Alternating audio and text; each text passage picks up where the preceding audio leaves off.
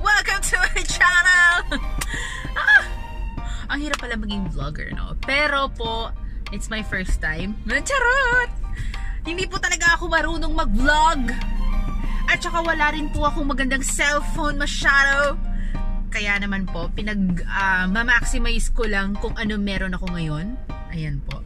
So, gusto ko lang mag-share sa inyo. about sa ginagawa ko. Ayan. So, andito po ako sa The Land of Promise.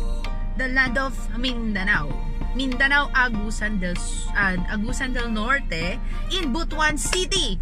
So, andito po ako. This video will show you na magpapa-encash po tayo ng uh, cheque natin or income natin from I Am Worldwide. So, alam niyo po, ang I Am Worldwide, kung nanonood ka ng Eat Bulaga araw-araw, sa ju ju bawal judgmental segment, andun po siya, sabi nga po ni Miss Heart Evangelista Escudero, success is having the right partner. Tama naman talaga. Na-distract ako. May nakita ako foreigner. Anyways, So, itong video na to, ipapakita ko po sa inyo na meron po tayong weekly income or meron po tayong cheque from I Am Worldwide na pinadala po sa akin ng aking mentor from Manila.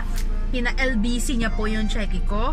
Papunta dito sa Butuan City. And ngayon, ipapa-encash po natin para makita po ninyo na bang! Totoo po na may income sa I Am Worldwide. At nandito po tayo sa isa sa resulta po natin na ginagawa yung I Am Worldwide for for 2 years mahigit. Ayan. So, meron po tayong sariling Montero Sport. Ayan. His name is Zeke, by the way. Anyways, ayan po, magpapa-encash po tayo ng check it today. Tara po, samahan niyo ako. And by the way, my name is Saiza Esquadra, also known as Ann Curtis of I Am Worldwide.